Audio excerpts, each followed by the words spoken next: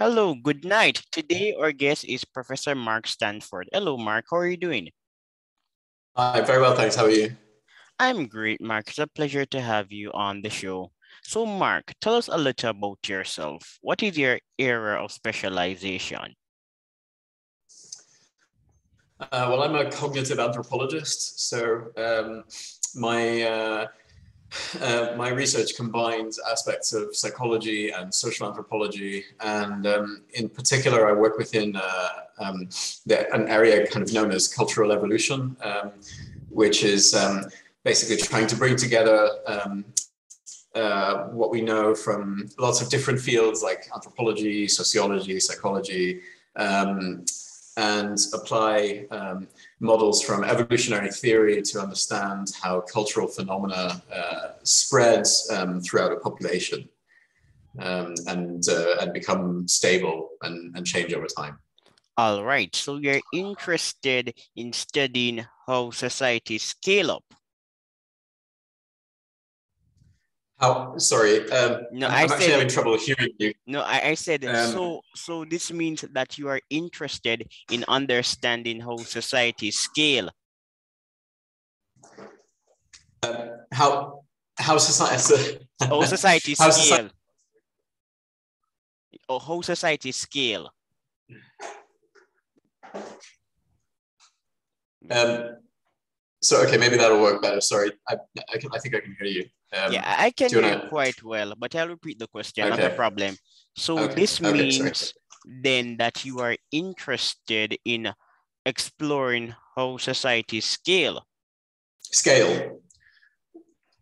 Yes. So um, they. Yes. yes.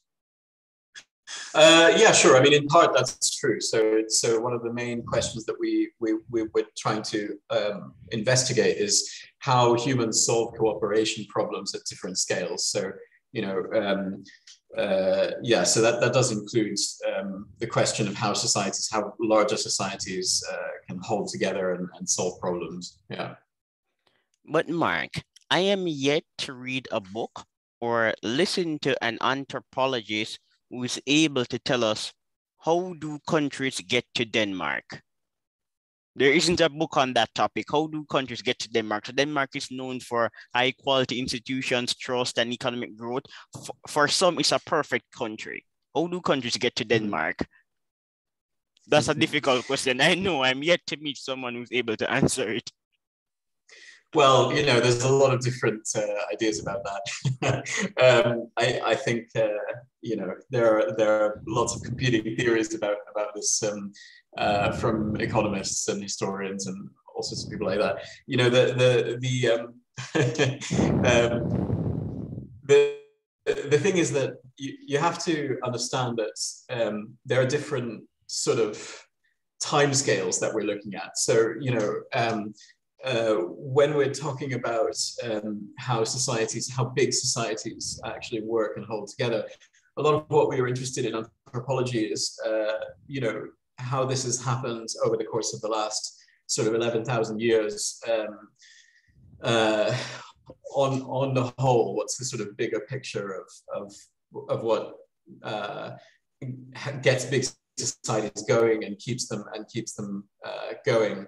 Um, in a in a very specific case, like um, like kind of recent 20th century uh, Western European, you know, countries, for example, there's a lot of sort of specific historical details, some of which we would consider to be effectively random variation from the point of view of our models. So, you know, it's not uh, I don't think we could sort of, if you wanted to give the story of something very specific like Denmark, uh, you could, you, you know, you'd have to weave together a lot of different elements, right? Because there's historical elements uh, involved, historical particularities of where Europe was a few hundred years ago. Uh, you know, um, the history of colonialism, the history of uh, Christianity, um, you know, all of those things. So I, I wouldn't, I wouldn't claim that um, that uh, what I'm working on is going to give you a simple answer to that question, but uh, it is a tiny piece of a, of a bigger puzzle which you could use to answer that question. All right. But Mark, please go ahead and tell us about some of your findings if you have done research on the topic. Uh, sure. So I'm, and Mark, um, the examples can be for any region or country or tribe. It doesn't really matter. Mm-hmm. Yeah. Okay. Well, um, so uh, just to kind of talk about my recent research, um, this paper that just came out last year. Um, uh, sort of one of the, the, the, things that I've been looking at is this um, is this idea of how religions are structured, um, and um, um there's a, a, kind of long debate um, in the social sciences about um, about religion, and in, and in fact, there's a long debate in the evolutionary literature about religion, and you know, some people sort of say, well, religions. Uh, evolve, um, but not because they help um, humans, not because they help societies actually stick together, but because they they just kind of almost like a virus. They kind of um, they evolve to take advantage of human um, cognitive frailties or something, and then they and then they spread um, without any benefit to to people. Other people say that religions have an evolutionary benefit for humans, that they help us, you know, organize uh, cooperation and, and, that sort of thing. Uh, my research is kind of um, uh, somewhere in between those two.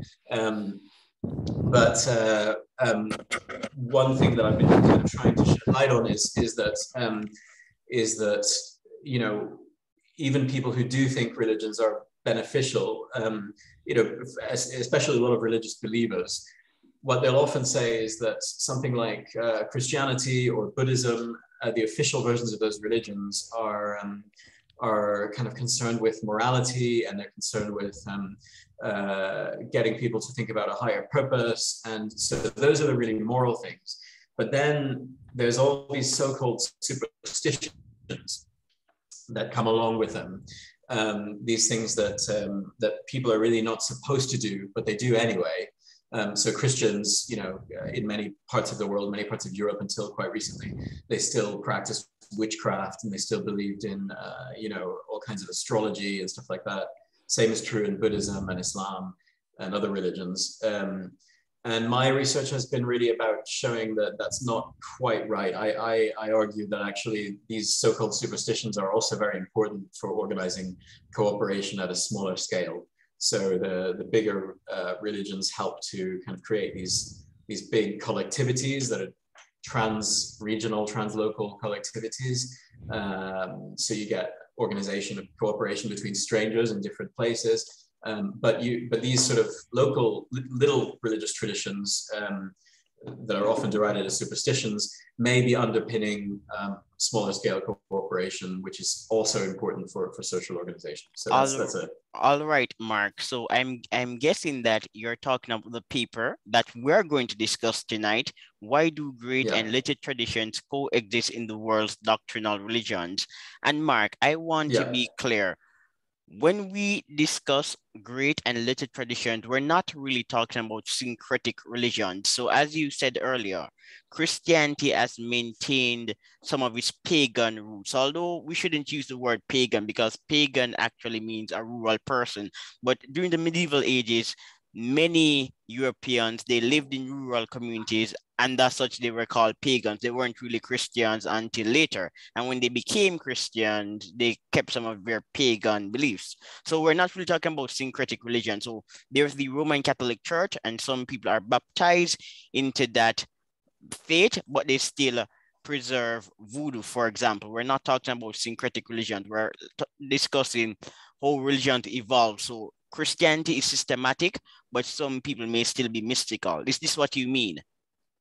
Well, I, I would be careful. Um, I would be careful with the idea of syncretism because um, I'm not. I'm not necessarily saying. We, I mean, we, we, we, we might be talking about that. Okay, but, you know, um, this isn't really a question of where uh, these things come from. So you know, somebody. The, the example of voodoo is a is is is a good example because you might convert to Christianity, um, but still practice voodoo uh, practices, and um, the and in that particular case, um, the, the, you know Christianity might represent what I'm talking about as so-called great tradition and, and voodoo might represent what what I'm talking about is a so-called little tradition.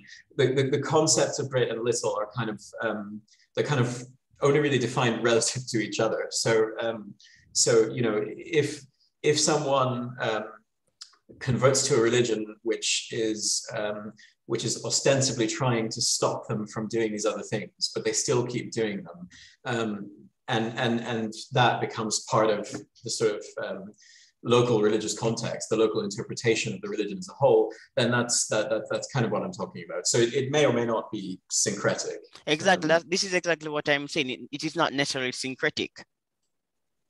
Yeah, it may or may not be. Yeah. yeah so I'm agreeing with you. So we have defined great okay, and okay. little tradition. that I like to give definitions. I never assume that people know. But in your article, you also discuss cognitively optimal systems and elaborated systems. Explain what, what's the difference? Uh, sorry, did you say cognitively optimal yeah, co systems? cognitively optimal religious systems and doctrinally elaborated systems. What's the difference? So the idea is that um, is that uh, we, um, by virtue of our sort of neurological uh, structure, we have certain cognitive um, biases. Um, so, for example, it's easier for us to think um, about supernatural forces as being um, um, kind of embodied in, in human-like form rather than to think of them as sort of abstract concepts, right? So when you have um, uh, uh, you know, but, but there's often religious doctrines that try to sort of go against these intuitions. So, for example, you know, the, the idea of the Judeo-Christian God, um, you know, there are many theologians who will uh, who will tell you that God is not actually um, a person, right? God is a kind of is a more abstract concept than that, and um, you know, God, for example, um, uh, it, because He is um, omnipotent and He's omnipresent, right? Um, that means that He He he doesn't have to divide his attention between different places, right? But then if you ask people, ordinary, you know, lay practitioners, um, you know, do you think God noticed when you did that, that, that did something wrong, for example? Often people will say, oh no, I don't think he would have noticed that, right? Because, because we, the cognitively optimal thing is, or the sort of intuitive thing is to think of God more like, you know, like a person. Um, so the doctrine is trying to steer you away from that. It's trying to tell you, um, I know, you know, you, you know, even if it's natural to think of him as a person, he's not a person. But your brain is constantly kind of biased toward toward the sort of easier way of thinking about things. All all right, but but I have another question. It's a follow up question cognitively mm. optimal religious systems versus doctrinally elaborated systems because mm. for eh, let's say for instance a layman is reading your article and he sees cognitively optimal religious systems what should he think by cognitively optimal are you saying that we're using less intellectual and philosophical powers because when i read your article in a sense you were distinguished you're, you're making a distinct you're, you're making a distinction between the intellectual import of the doctrinally elaborated system versus the cognitively optimal religious system. So is a cognitively optimal religious system optimal in the sense that because we're cognitive misers, it's easier for us to digest? Uh, well, I wouldn't. I wouldn't necessarily say that. I yeah. I mean, okay, that, that is one way that that uh, that it can be cognitively optimal. I, you know, so it can be that it's a lower effort to understand it um, uh, in, in a certain way. Um, it's not necessarily just effort that we're talking about. Um, that, that sort of phrase, um, the optimality in that phrase, what that really refers to uh, is, um, is that these are kind of beliefs and practices which are optimally adapted to um, taking advantage of the way our cognitive architecture is shaped. So, um, in other words, they, they are um, they probably are lower effort to process, but um, but it's yeah, you know, it's kind of um, rather than fighting against our, our, our sort of cognitive biases, they go along with our cognitive biases. Yes, as you write, Thus, doctrinal systems are not only highly elaborated, they are highly cultivated in that in that their maintenance entails considerable work. They require, for example, hmm. institutional arrangement for supervision and enforcement, regular repetition of beliefs and practices to sediment them in semantic and procedural memory and the, and the training and the mnemonic supports typically focu focused around rote learning and authoritative interpretation of sacred texts. Yeah. Yeah, I, I just want to make it clear for our listeners. Mark, in your piece, you arrived at a rather striking conclusion. Universalism and great traditions. We often assume that great traditions are moralistic and universalistic, but your conclusion is a bit more nuanced. Tell us a little about it. Um, so this is a very interesting question, I, and, and, and I think uh, one which um, uh, which has a lot of potential implications. So I, I, should say to begin with, this this paper is is only looking at one case. So we're suggesting that the findings may be applicable more broadly, um, but that's just a hypothesis right now. So right now we, we, we can only really say this in the case of um, Burmese Buddhism, which is where which is where we um, we actually ran these studies. But um, the idea is this that um, you know um, anybody who reads Buddhist scriptures, Buddhist texts, will see that, of course, there, there are um, moral ideas there um, which suggest that you should cultivate love for all living creatures. You know, they suggest that you should um, you should not practice violence against anyone. You know, these are universalistic ideas in other words, they're, they're forms of um,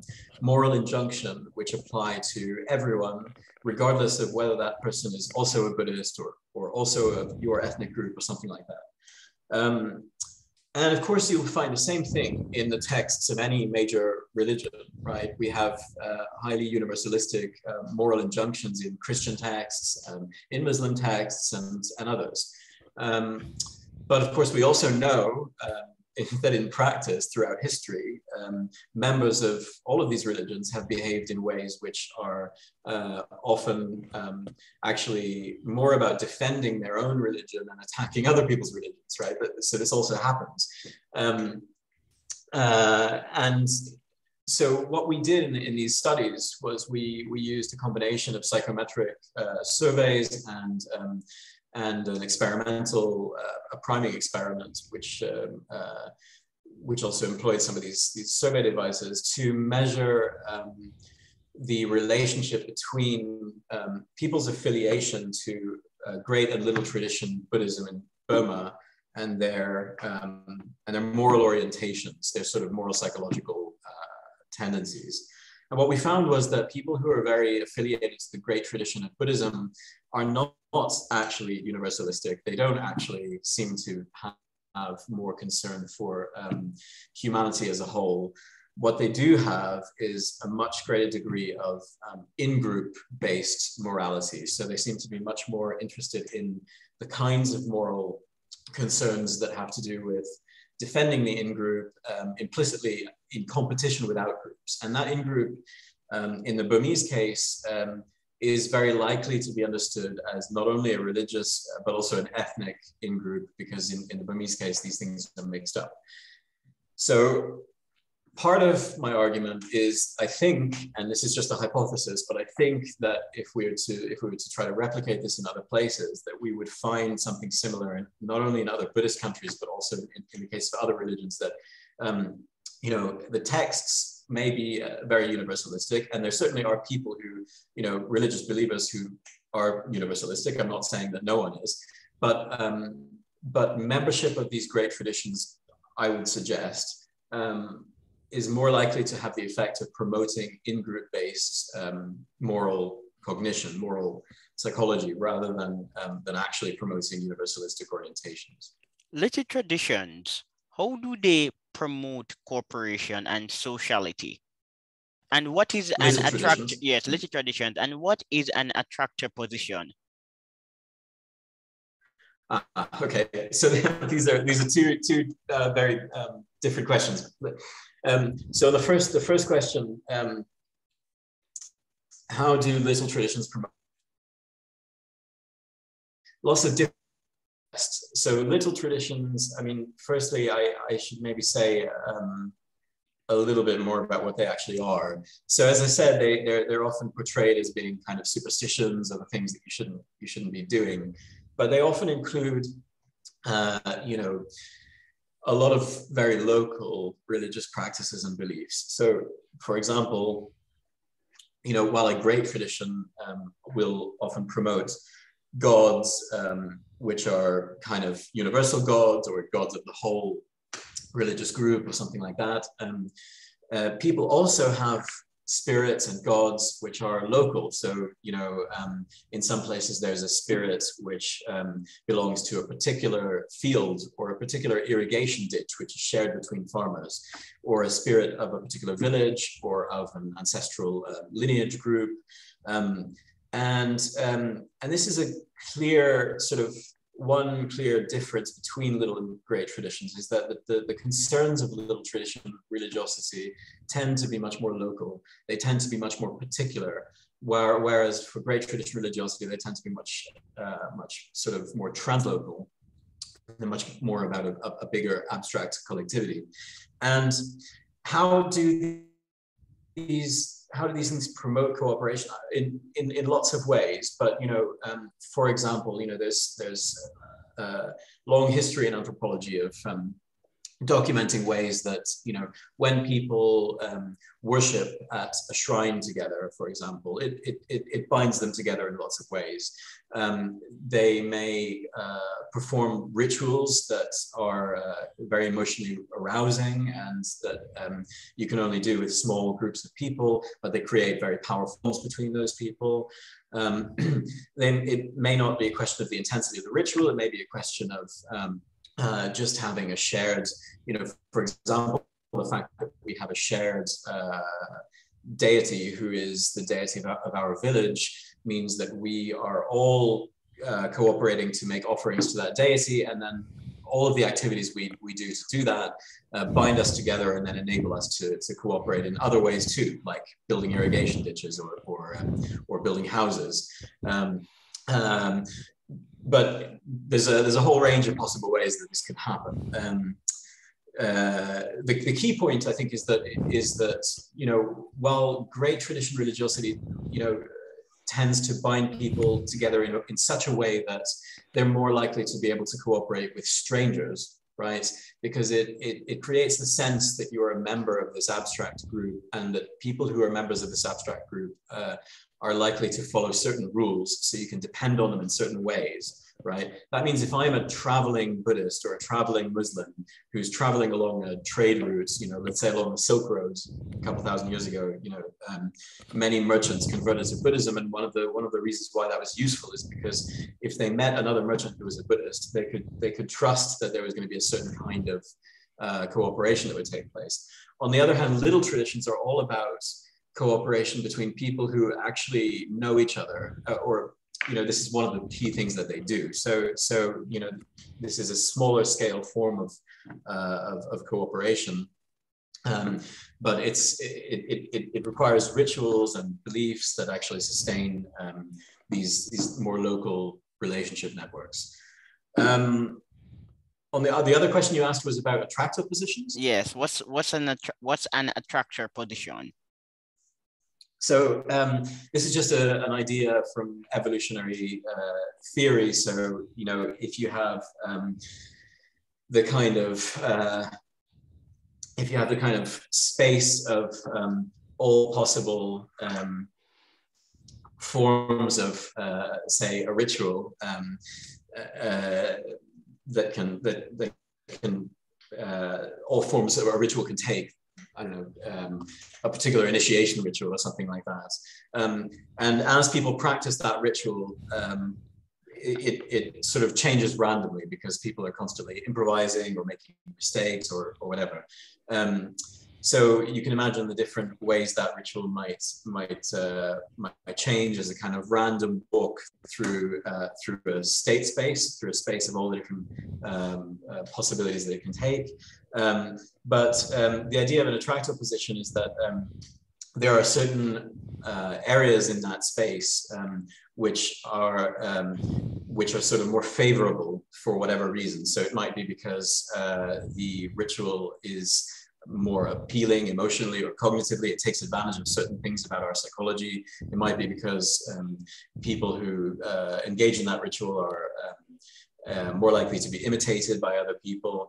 Um, and these um, um, and, and the closer you kind of get to these positions in the state space, the more likely you are to then um, to stay within those uh, those those areas. Kind of like uh, they sort of have like a gravitational pull, um, and uh, and so we would expect that if you if you took a random ritual, it would it would gradually move toward one of these attractor positions. Okay, so essentially, the concept of an attractor position is basically describing how people become immersed in religion. So you in your article, you describe it as the epidemiology of representations, according to which religious representations are analogous to diseases exhibiting different types and magnitudes of virulence. virulence. Yeah, that's a, that's an idea from Dan Sperber. The, the idea, the, this phrase, the epidemiology of uh, representations. So it's a it's um, one of several different ways of um, talking about um, this concept that I mentioned earlier of cultural evolution. But yeah, it's the it's the idea of uh, trying to understand how cultural practices spread through a population, much the same way as an epidemiologist understands uh, the way a disease spreads through a population. All right then. So we're still on the issue of great traditions versus little traditions. In your piece, we're also greeted with the notion of relational mobility. What is relational mobility and how does this concept re relates to great and little traditions?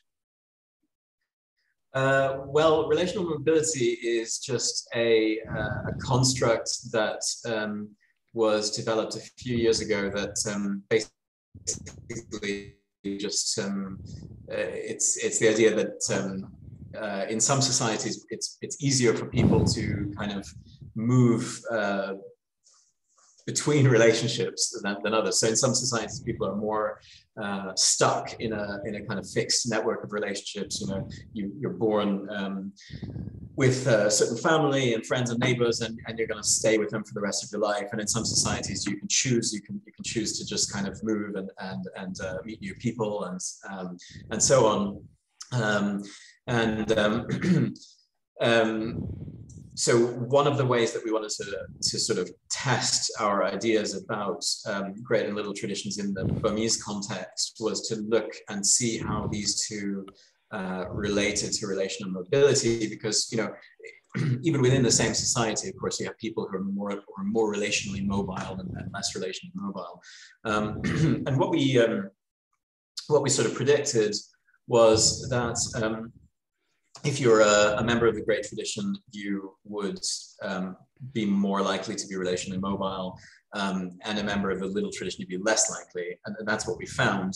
The reason uh, behind that prediction is, um, is quite simply that um, the, again, great tradition morality um, is, or, or, moral orientation is all about, um, in, at least in the Burmese case, um, is all about um, the idea of cooperation with and allegiance to this abstract collectivity, collectivity. When you when you have that kind of morality and that kind of way of thinking about things, it's it's going to be easier for you to kind of um, um, go to a different city, to a different place, and establish relationships on the basis of that shared uh, allegiance. And also, um, the, the, reverse is also true. So the more you move around, the, the more likely you are to, um, to sort of plug into these, this transnational uh, orientation. On the other hand, the, the little tradition, um, if it's doing what we say, which is sustaining um,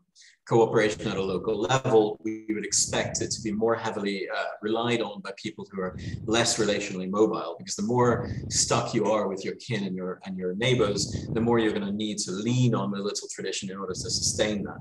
It's it's it's a particularly interesting point, I think, because. Um, in Burma, uh, you know, actually, members of the little tradition do travel. Uh, I mean, sorry, everybody's a member of both, right? But people who are very into the little tradition do travel. So they have these these these um, these spirit possession festivals that happen every year all around Burma, but particularly in the center of the country. And people travel all, all over the country to go to these festivals. Um, there are some people who do a circuit, who travel around to different um, spirit possession rituals, who, uh, who take part in these things all over the place. So it's not that it's not that people who participate in the little tradition are not traveling, actually. They do travel, uh, they do take part in translocal um, sort of institutions.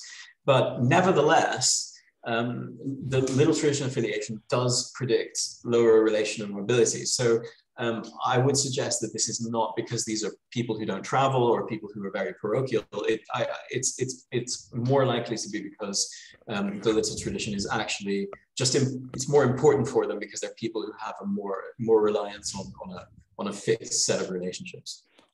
So little traditions are serving a different purpose. That's our argument, yes. Yes. And in, in your conclusion, it is also stated that although great traditions are not necessarily universalistic, little traditions, little traditions suppress universalism. Expound, please. Well, so again, I cannot, I, I can't, I can't yet say whether this is true outside of the one case of Burmese Buddhism. Um, what we did find in this case is that um, is that the more someone is affiliated to the little tradition, uh, the the the less likely they are to, um, to sort of um, uh, well, the, the, the, the, more weakly they, they sort of express universalistic morality. And um, uh, it seems to be what's happening in this case, um, I would argue, is that um, the, the great tradition is kind of fostering a sense of in-group allegiance. Uh, the little tradition is fostering a sense of allegiance towards your local relationships, kin, friends, neighbors.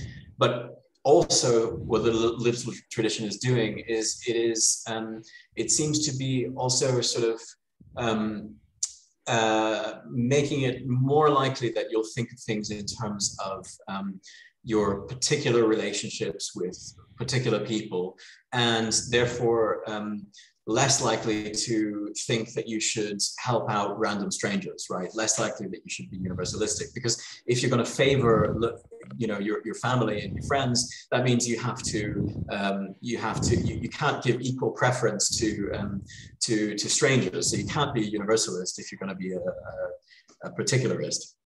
So, um, so you know, it kind of, it kind of makes sense, and it, we may well find it in, in other cases. Um, but uh, yeah, it, it's as I say, this is all um, a hypothesis at the moment about apart from about the, the one case. Your your research is indicative of the studies done by Joseph Henrich and co-authors. Quite similar in the sense that Westerners are less likely to, in, to invest in kinship norms kinship and kinship intensity is not positively correlated with universalism. So in this sense, I'm seeing many parallels. Yeah, I mean, I'm not convinced that uh, Westerners are um, all that universalistic, but um, uh, I, I um, yeah, I think that the, um, you know, one thing I've argued in the past and uh, um, in, in my, my previous work in, in China um, is that I, I, I think um, it definitely, you know, and, and, a lot of other people argue this too, so it's not just me. But um, I think the the it's pretty clear that dependence on local relationships is going to decrease um, the more you have economic development, the more you have urbanization, the more you have um, kind of monetization of the economy, uh, it's something that we've definitely seen in China over the last yes. uh, sort of decades. The, the weakening of these relationship networks, the weakening of the importance of kin and, uh, and, and other other kinds of relationship networks. But that doesn't mean uh, and and this is something I argue in my PhD thesis. It doesn't it doesn't mean that um, just because those relationships are weakened doesn't mean it gets replaced automatically by universalism. In fact, um, it can just be replaced by um, kind of a moral vacuum as well. Um, if you're able to buy everything you need on the open market and uh, you don't really need to cooperate that much with people, um, then um, you can, uh, there are a lot of alternatives. It doesn't necessarily have to be universalism that replaces the, the, the, the kinship networks. So, um, so yeah, I, I don't, um, uh, uh, yeah, i would be a little bit wary of characterizing Westerners as being as being all that universalistic, but but certainly in general, we we have particularly Northern European cultures um, have a lot less uh, sort of dependence on on you know kin networks and things like that.